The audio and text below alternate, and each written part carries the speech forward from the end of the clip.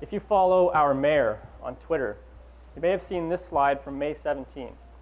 Manager of Economic Development identifies Nova Scotia government as cause of population decline in Nova Scotia and Cape Breton Regional Municipality.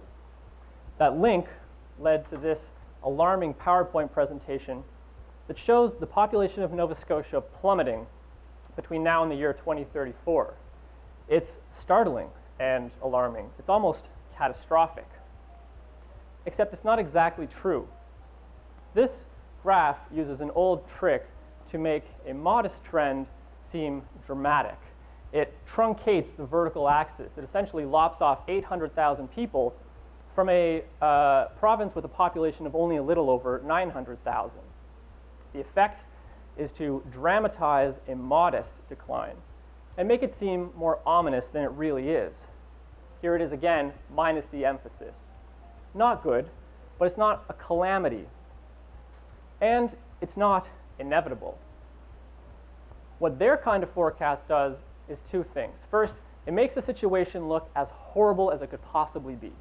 And second, it's a self-fulfilling prophecy. It reinforces the notion that it is normal to leave here. It almost seems to say, if you're not following this graph westward, then you're not normal, you're clueless, possibly even stupid. And in either case, you're a failure.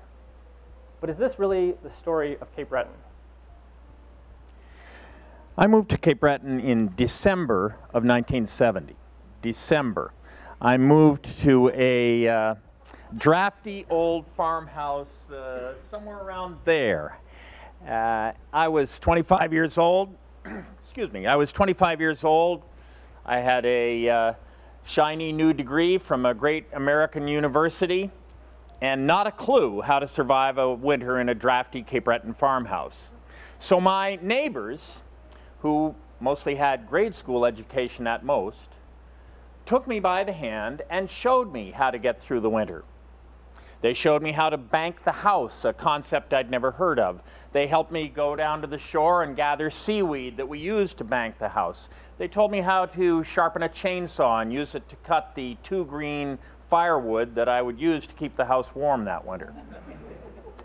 Uh, they showed me how to uh, sweat pipes, copper pipes, when the pipes froze in the cold weather.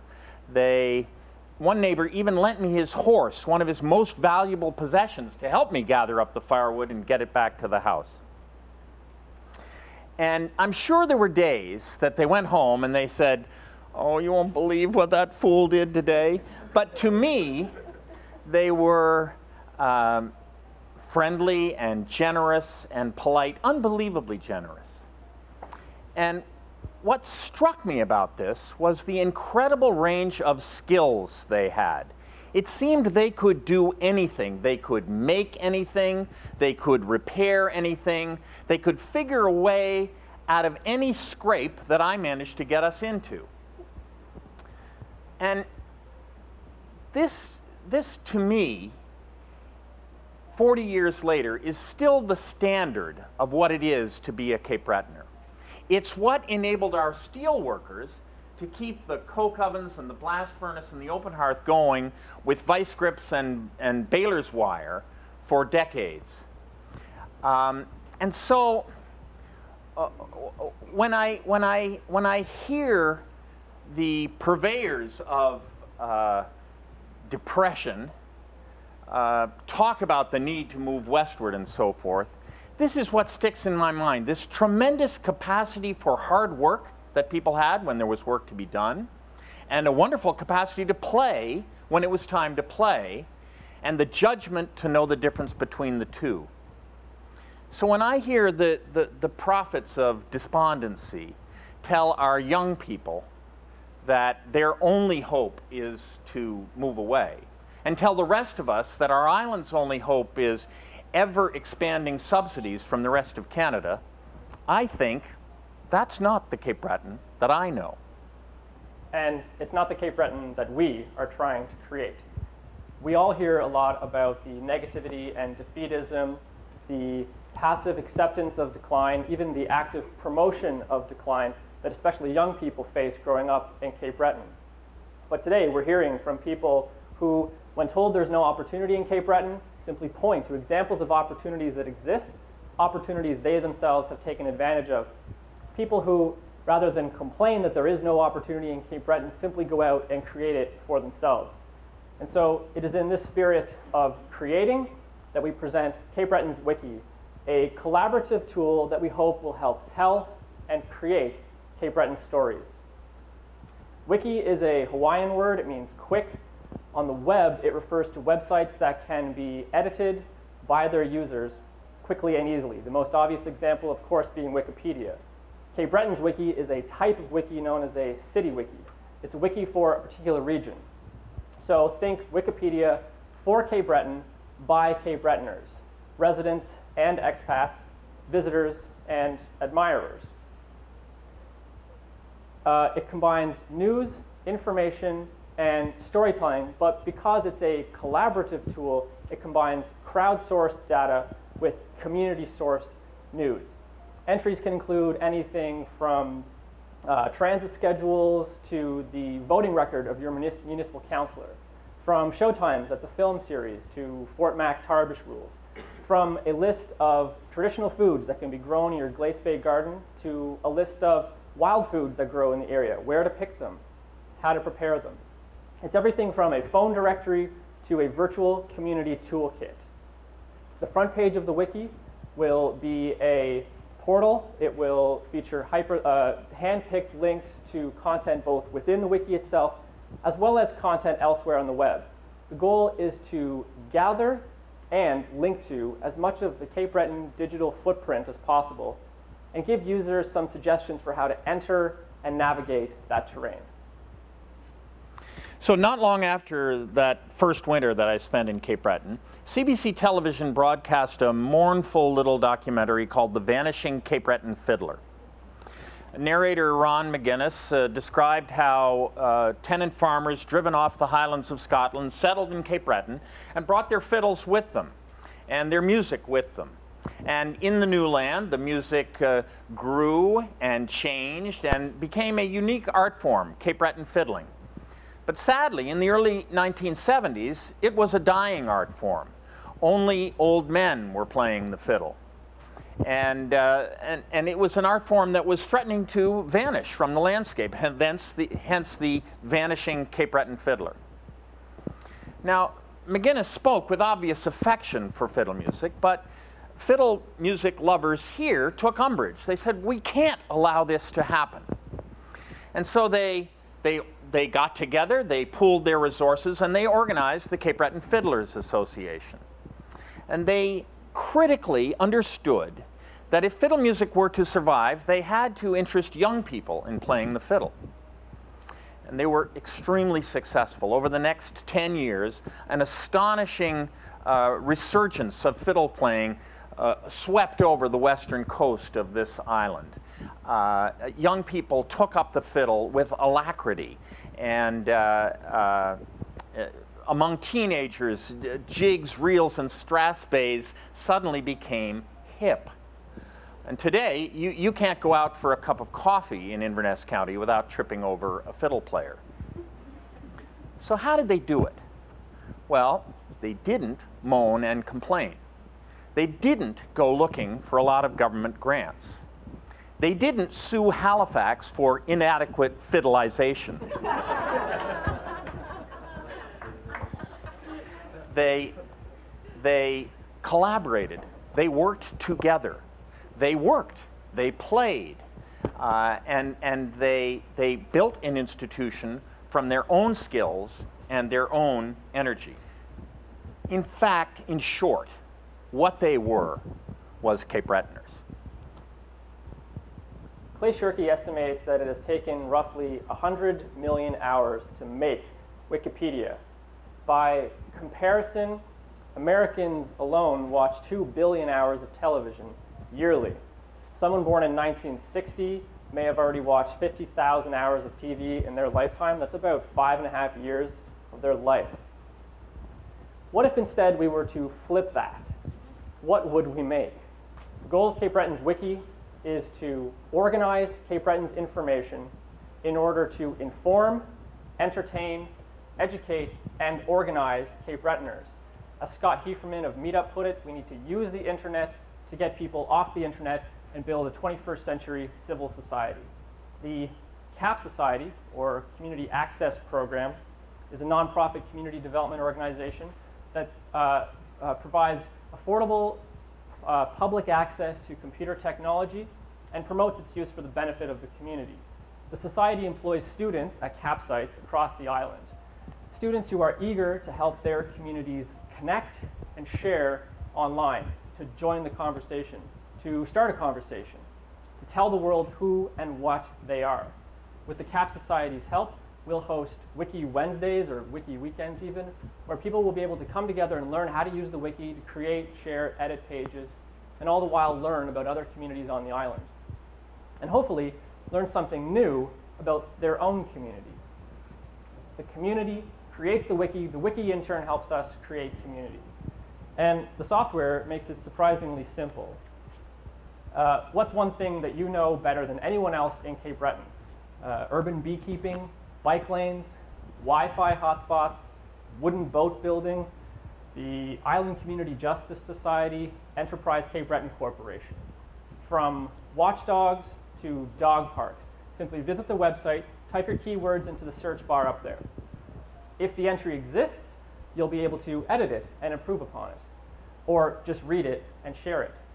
If the entry doesn't exist, you'll be asked if you would like to create it. If you're searching for bike lanes and you don't know where the bike lane is in Cape Breton, uh, it's actually here in member two. you can create the entry with just the title and leave the rest of the page blank, thus signaling to others that a query has been made. In this way, the wiki gives us both a mode and a model for voluntary collaborative action. Wikipedia itself seems to have almost prefigured Cape Breton's wiki. This is from the Wikipedia entry for Antigonish movement.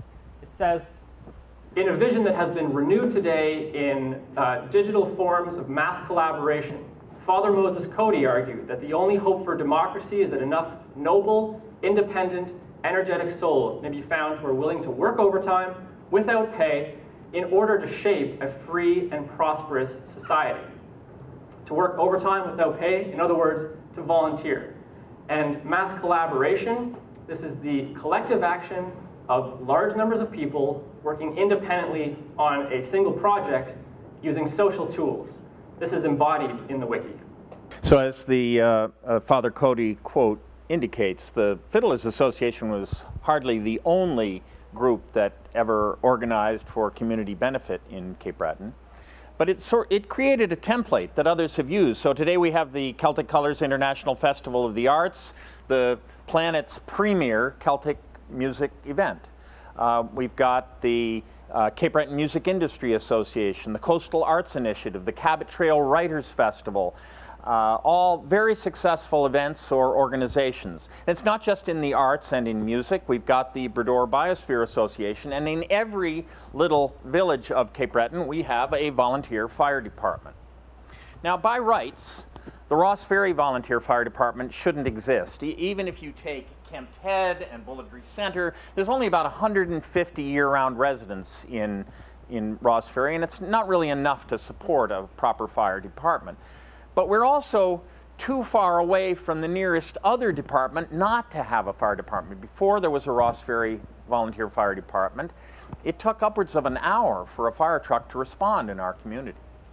And in 1982, in April, there was a fire that destroyed a family's home in Ross Ferry, very popular family. Uh, the fire started when some cinders from the uh, chimney uh, caught on some shingles at the edge of the roof. Uh, someone passing by saw the fire early, and neighbors organized a, a bucket brigade while they waited for the fire truck, and they, they carried buckets from, or they passed buckets from a farm pond that happened to be near the house. But they were no match for the flames that were leaping through the old dry timbers of this hundred year old house. And by the time the fire truck from Big Bras d'Or arrived, it was a lost cause. So uh, a few weeks later, the same neighbors gathered in Johnny McLean's kitchen. and they considered the question of whether it was even conceivable that Ross Ferry could create a fire department. And they reduced the question to its basics. What do we really need? Well, we need a fire truck, and we need a, a, a place to keep it out of the cold in the winter. Well, someone said, you know, a fire truck, what is a fire truck really? It's, it's a truck bed, it's a cab, it's a tank, and it's a pump. Someone else said, well, you know, Smolinars has those old Pepsi delivery trucks up behind the motel there. No, that won't work, said someone. The, the, the, the bed on those trucks is too low to the ground. But up behind the Beddoes in the woods there, there's an old GMC uh, truck bed that would work perfectly for that. And someone else remembered that at a fabricating shop in North Sydney, there was a tank that had been built for a fire truck, but the, the company that ordered it uh, couldn't pay for it, and had been there for 10 years, and probably the fabricator would be happy to get it out of the way. And then that brings us to this fellow here, Charlie McPherson, the late Charlie McPherson, who was a mechanic at the Sydney Municipal Bus Garage, who lived at Kempt Head. Uh, Charlie wasn't strong on reading and writing, but he was a genius as a mechanic, a brilliant mechanic. And in June of 1972, he took his two weeks vacation, and with all these parts that the community had assembled, he put together a fire truck, a working fire truck, in two weeks. Total cost $365.23. And we fought fires in that community for eight years with that fire truck. Today, Ross Ferry has three modern fire trucks, only two of which are shown here because the community is currently gathering money to build a third bay on the side of the community center. the Antigonish movement would, of course, approve.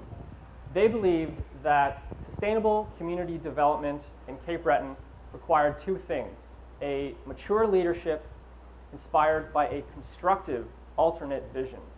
They believed that if Cape Bretoners were to be masters of their own destiny, as Coady put, uh, titled his book, they would need to educate and organize themselves.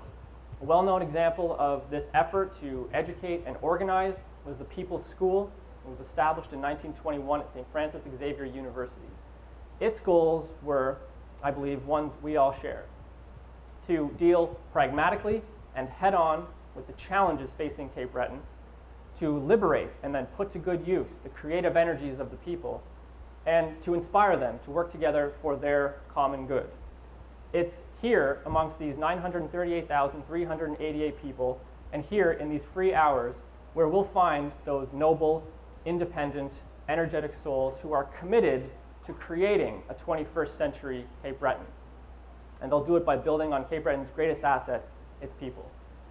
We hope you consider this an idea worth spreading, and that you'll join us at Cape Breton's wiki, cbwiki.org, and help us tell an old Cape Breton story, one new Cape Breton story at a time. Thank you.